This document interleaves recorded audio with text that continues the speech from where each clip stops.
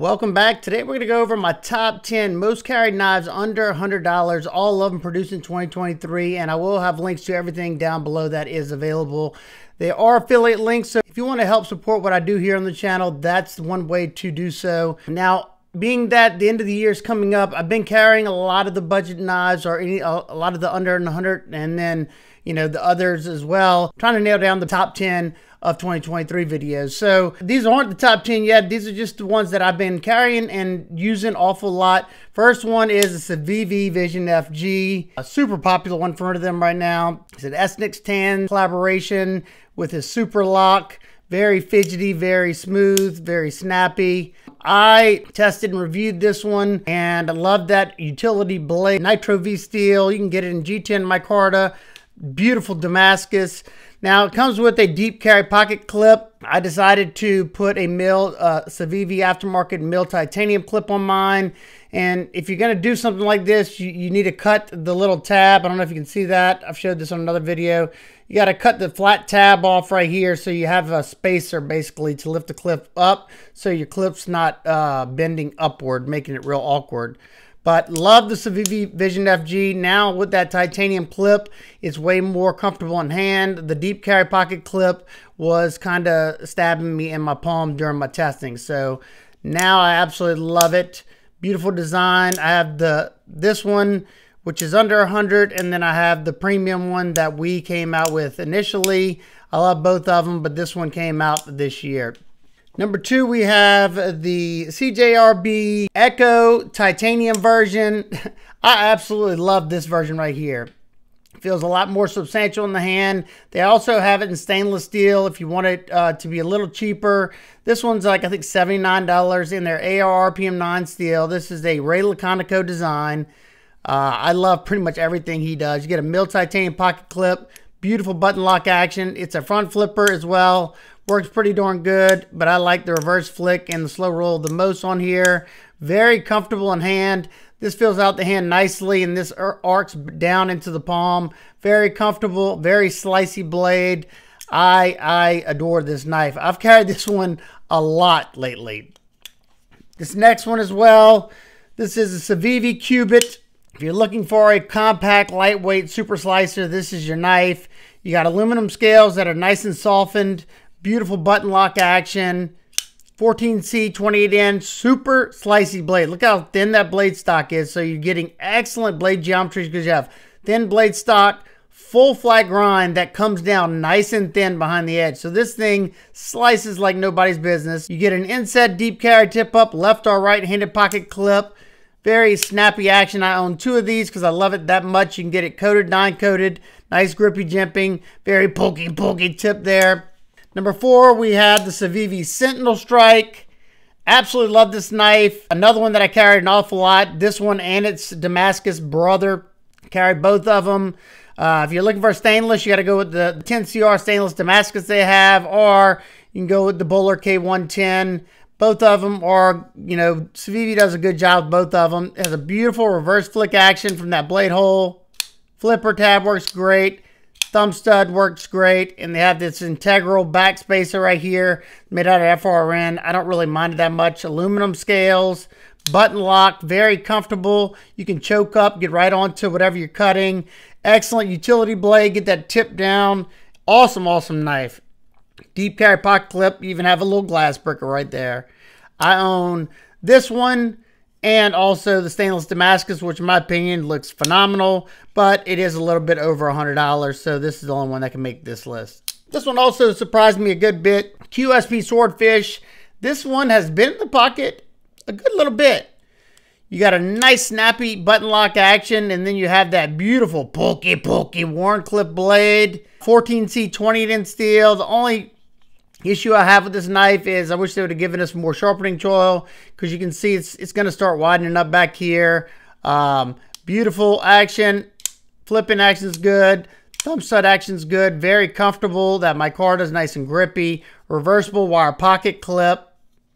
Yeah, swordfish. Uh, I did not expect to like it as much as I do. It's a pretty aggressive looking blade, but I love a good knife that I can use that tip on because that's most of the stuff I cut. You know, open up packages. uh, breaking down boxes and stuff like that. This thing's going to be a dream with that. Next one, I'm super glad they released these. This is Civivi Praxis, and I've owned many different Praxises, but I forgot how much I love the Praxis until they came out with these Ultem scales. You got these blasted, texturized Ultem scales. You know, the, the material that's hot right now. It's uh, it's pretty interesting material. We used to use it at my old job. We had a 3D printer, and we used to use a good bit of the Ultem. you have a super, super slicey 9CR18 MOV blade, super comfortable, nice full-size knife. All of them have beautiful action, every one of them that I've ever had. The Ultem's not your thing. They come in my Micarta G10, and they're priced so well. Love the Praxis, one of their mainstays in their lineup for Civivi for a good reason. Next one I reviewed recently, but it's been getting a lot of pocket time, and I kind of thought I might stop carrying it because there are some things that I, I don't like about the knife, but I sharpened it up after the review, and man, oh man, this N690 takes a screaming, screaming sharp edge, and I have to say, it performed very, very well. Better than VG10, at least the VG10 I've tested recently. And I love the aesthetics. It's pretty darn comfortable depending on where your hand sits. For me, as long as I keep my finger either in front of this hump or uh, on like in between that hump, I'm good. I'm still getting used to the action, but it's getting better. It's a lot smoother now. I can slow roll it. I can spotty flick it. And I can spotty drop it. Uh, excellent blade shape. I think that's what really, really drew me to this knife. I love, once again, being able to get that tip down onto whatever I need to cut or slice open like that. You got this nice aluminum scales with a, a starburst pattern on it. And I'll try to remember, I have a $10 discount code for this knife um, that Vosteed gave me. I will try to remember to put it in the description whenever I put the link to this knife. Uh, this is the RS Knife Works collaboration, nice compound ground blade. This crossbar lock is adjustable like the clutch lock. You have an aluminum geared back spacer. Yeah, love the aesthetics of that knife.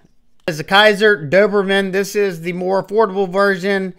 The contour G10 scales on here feel so, so, so nice. They're smooth, but not super slick.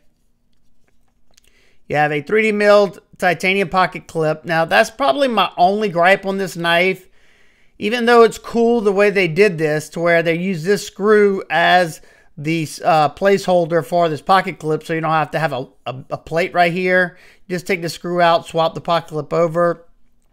But this pocket clip is very, very strong. And it's got the little nub. it it goes. It, it's pretty hard getting in and out of the pocket, but um, I, it's not the worst. The action, outstanding. Just finished the testing up on this.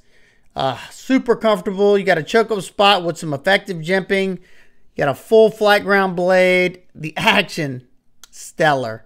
On this one and the premium one. You also have those thumb studs. This is a nice full-size knife here. Another really good one this year. Another Vosteed. The Mini Nightshade kind of stole the fifth pocket carry for the last month or two since these came out.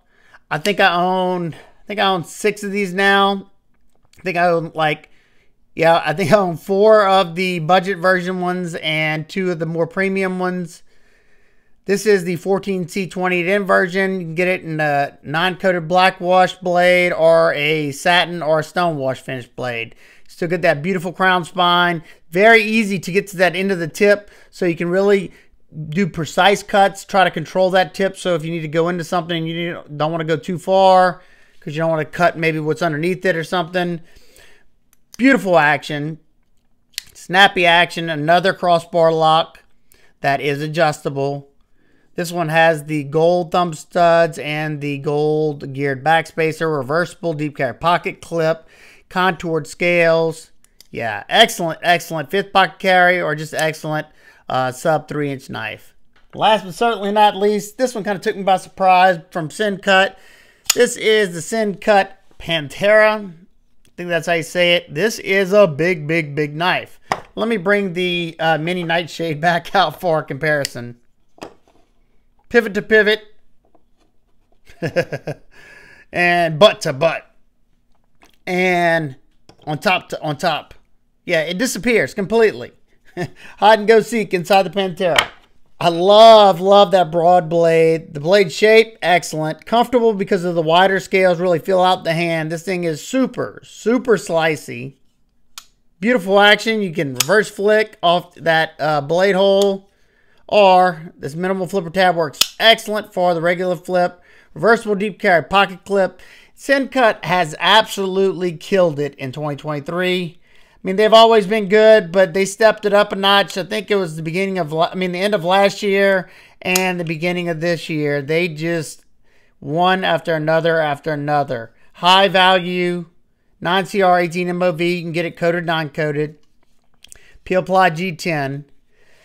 So, yeah, that's the 10 that I've been carrying the most the last few months under $100. Let me know what's your top three most carried under $100 knives that that you've been carrying most often. Um, I love seeing those. I read every single one of those. And boy, I'll tell you what, those top 10 videos for 2023 are going to be very, very difficult.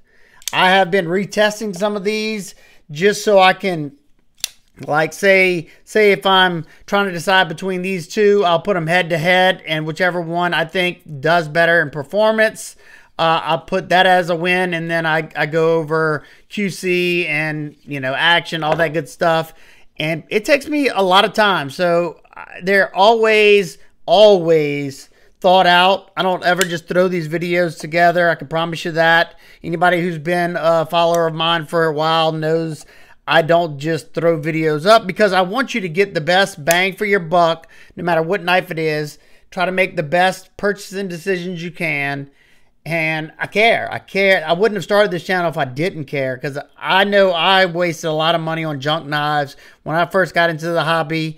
And YouTube kind of fixed that for me because I've started following people that I like their taste and I like what, you know, they were doing. And I started getting better and better knives in my collection. So if you have any questions about anything in particular, feel free to ask me down in the comments. I hope everybody's having an absolute amazing day. I will see y'all on the next one. P E I E.